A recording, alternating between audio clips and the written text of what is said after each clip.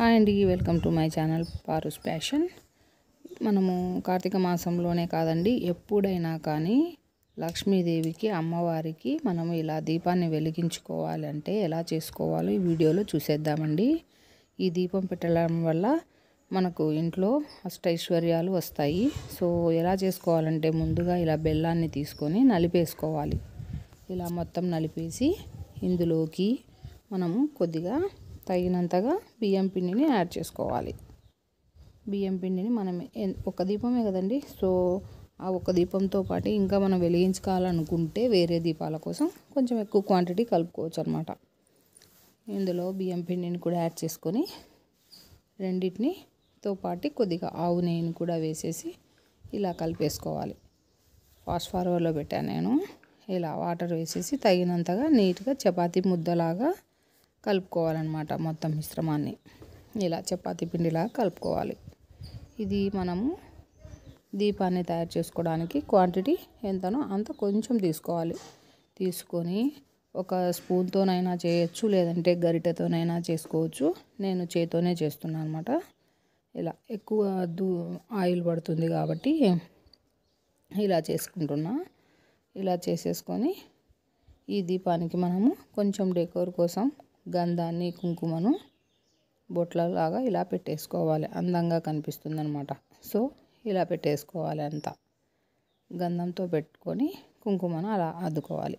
చూడ్డానికి బాగుంటుంది అనమాట సో ఇలా లక్ష్మీదేవికి ఇష్టమైన దీపం అనమాట అలాగే మనకు కూడా ఇంట్లో అందరూ సుఖంగా ఉంటారు. ప్లస్ అష్ట ఐశ్వర్యాలు లభిస్తాయి అన్నమాట ఎలాంటి కష్టాలు లేకుండా ఉంటాయి ప్రతి శుక్రవారము.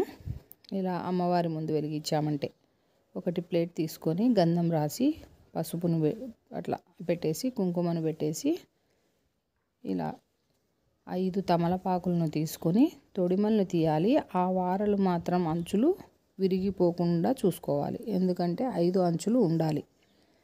ప్లస్ ఆకు మీద కొద్దిగా గంధాన్ని కుంకుమను పెట్టుకోవాలి. ఆ తొడిమెలు ఉంటాయి కదా దానికి కూడా చెప్తాను అది ఏం చేయాలో. ఇలా గంధము కుంకుమను అంతా బాగా ఇలా పెట్టేసుకోవాలి. మనము ముందుగా చేసి పెట్టుకున్నాం కదా దీపం ఆ దీపాన్ని మధ్యలో పెట్టుకోవాలన్నమాట. తొడిమెలు తీసేసాం కాబట్టి దానిలో ప్లేస్లో ఈ దీపాన్ని ఇలా ఉంచుకోవాలి.